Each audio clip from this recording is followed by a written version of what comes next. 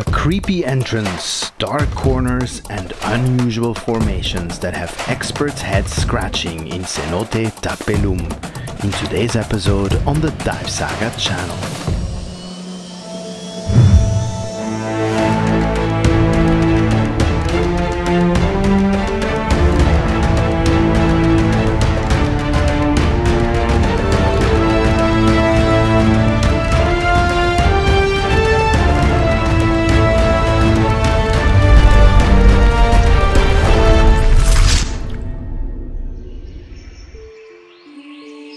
It's early morning in the jungles of Quintana Roo in Mexico as we are getting ready for a cenote dive.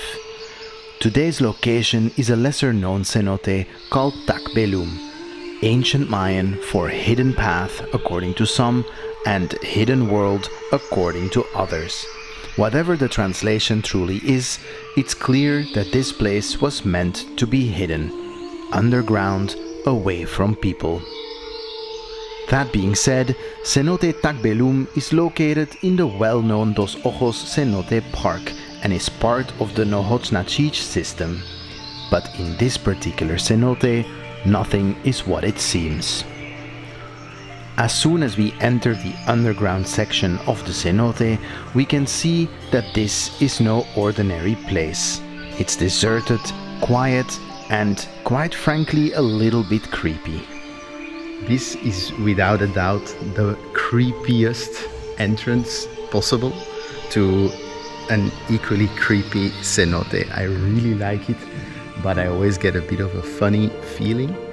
Um, but it, it adds to the experience. If you know my opinion about cenotes, then you know that 50% of the experience is in uh, how you get to it, entrance, and this one dials that up to 11. Yes, as a rule of thumb, the more dramatic the entrance, the more I tend to enjoy the diving experience. On the Dive Saga channel, we have visited a few creepy dive sites in the past, like Zapote with its unusual bell-shaped formations, or La Orquídea with its thick sulfur cloud and decomposing trees.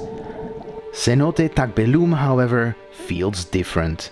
It feels like a place that was meant to be forgotten, ignored by humans, and certainly left undisturbed by scuba divers. However, what lies beneath the surface in this place is just too good to miss out on. I can't quite describe what comes next, so all I can really do is encourage you to explore this dive site with me.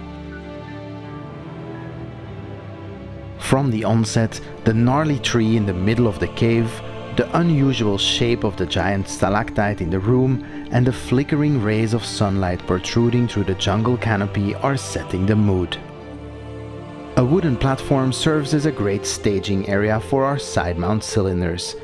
Although this is about to be a relatively shallow dive and fully within cavern limits, we are diving side mount.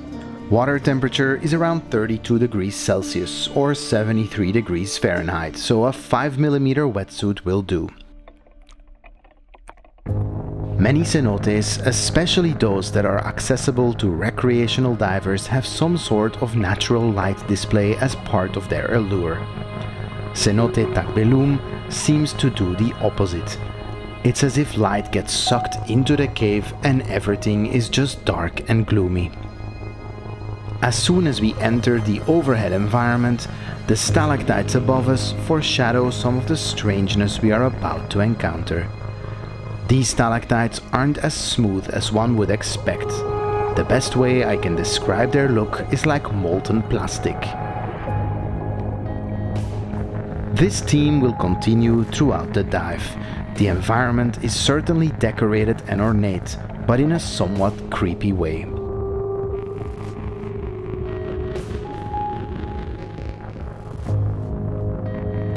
Most stalactites form by water dripping from the cave ceiling when the cave isn't flooded. The water drops leave deposits of calcium carbonate and other minerals behind. Over time, these deposits grow and grow, a bit like icicles in winter but much slower and more permanent. Underneath the stalactite, we often find a stalagmite, formed by the same water drops but on the floor, leaving deposits and growing upwards. When these two formations touch and fuse, they form what we call a column or stalagnate.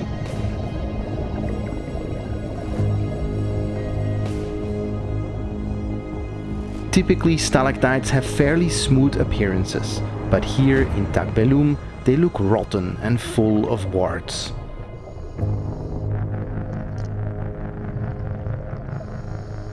Some stalagmites don't look like stalagmites at all. You'd be forgiven for identifying these formations as alien life forms. The bubble-like appearance creates the impression that these formations may be soft and alive, but they are very much solid.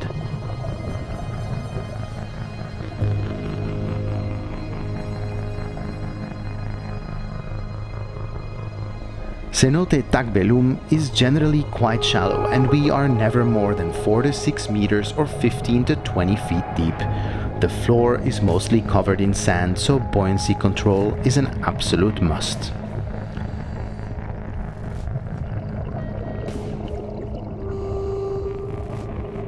Nobody seems to be entirely certain why the formations in this particular cenote have this molten appearance. I'd say the uncertainty contributes to the mystique of the dive.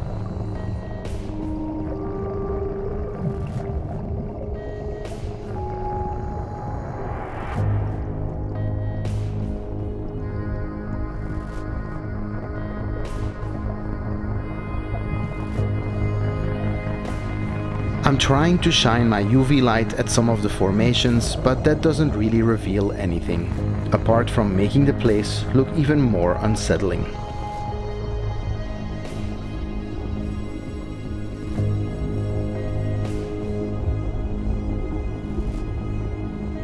As we discussed earlier, stalactites usually grow by water dripping down the ceiling, so you would expect them to be pointy, but some of the stalactites here have a bulgy tip at the end.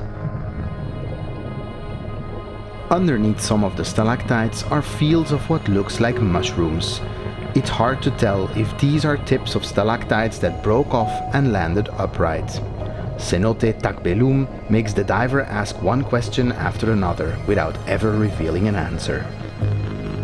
For divers who are into cenote diving or cave diving in general, part of the fun is looking at the formations and trying to dissect the story of how these places were formed.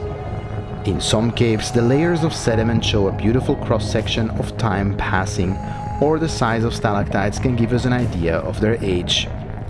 In Tak Beluum, what we see leaves us scratching our heads.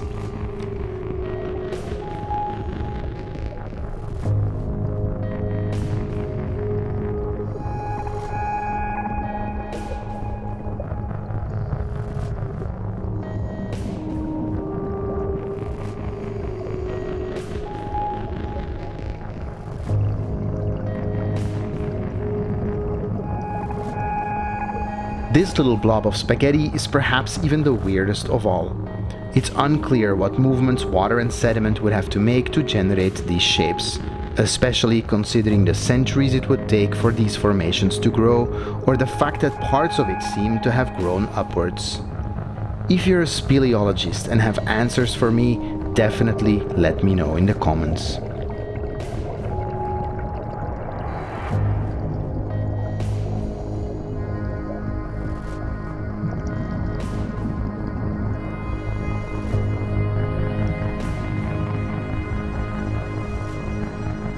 We are about to complete our circuit through the cenote. It's not clear whether this narrow passage was man-made or not. The sides seem suspiciously straight to have been formed naturally, but who knows.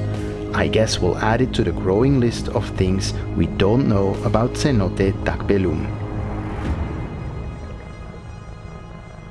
Hope you guys liked that dive as much as I did. If anybody knows more about it, please let me know yeah, in the comments. And of course, as always, if you like scuba diving content and you like episodes like this, make sure to subscribe to the Dive Saga channel and follow us on Instagram. I'll see you next time.